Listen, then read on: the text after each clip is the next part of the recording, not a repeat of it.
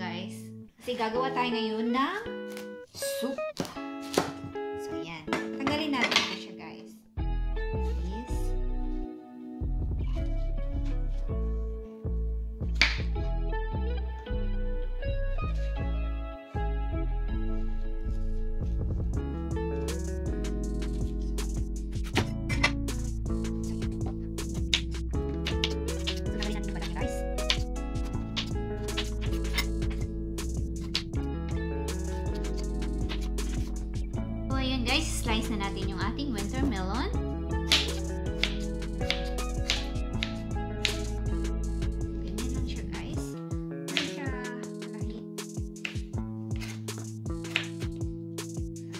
Depende sa inyo kung anong gaano kalaki yung mag-slice.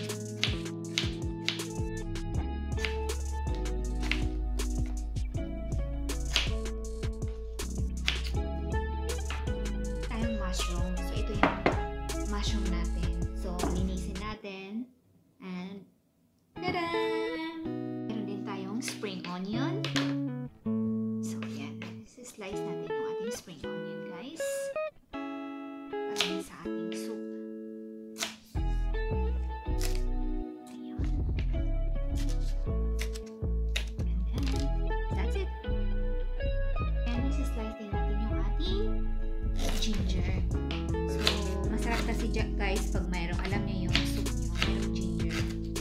Ako, gusto gusto ko yan. Gusto gusto nila yan. So, ayan yung ating ginger. Mayroon tayong dry na octopus ba to? so, ayan. Dry yan siya, guys. So, nahugasan natin. I-slice natin. Ito yung soup nila, Ako, guys, pag matikman nyo to, naku, masasabi nyo talaga, one more please. Charot, but promise guys,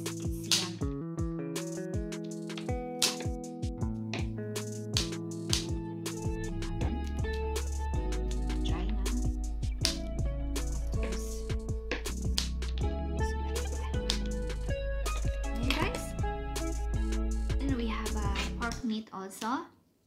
So ito, slice natin siya ng maliliit.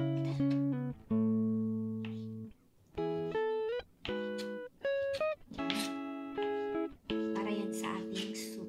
Ang gagawin natin ngayon is winter melon soup. Yan, mayroon siyang mushroom.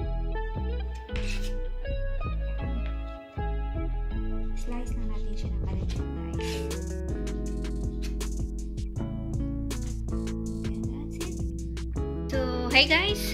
Si Bisayang Mistisa nga pala ito. so guys, magluluto naman tayo ngayon ng winter melon soup.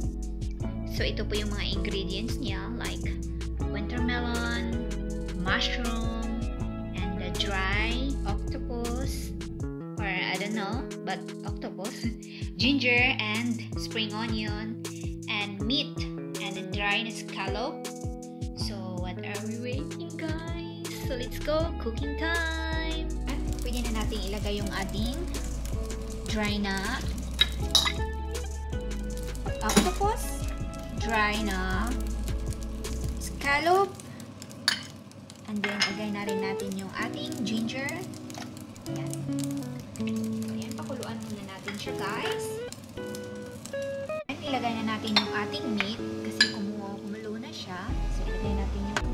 Siya. So, pwede natin lagyan siya ng chicken powder.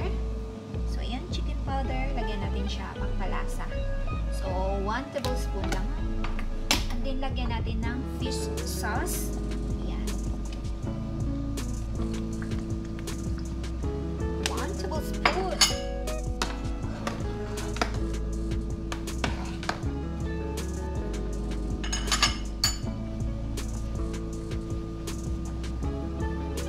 Then, lagyan natin siya ng 1 tablespoon of salt. Ayan.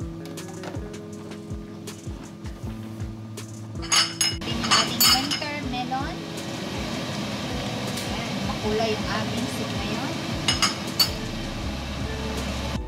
So, ayan na yung ating soup. Nilagay ko na yung mushroom.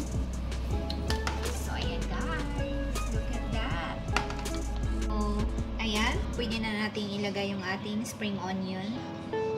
Ayan.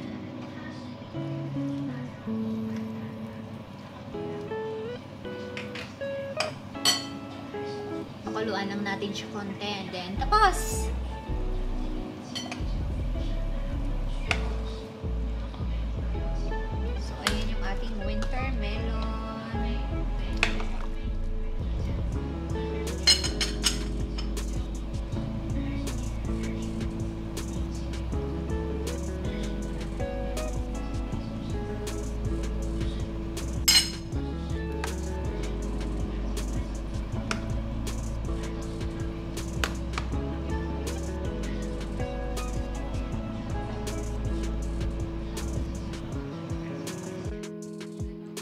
Ayan na yung ating soup.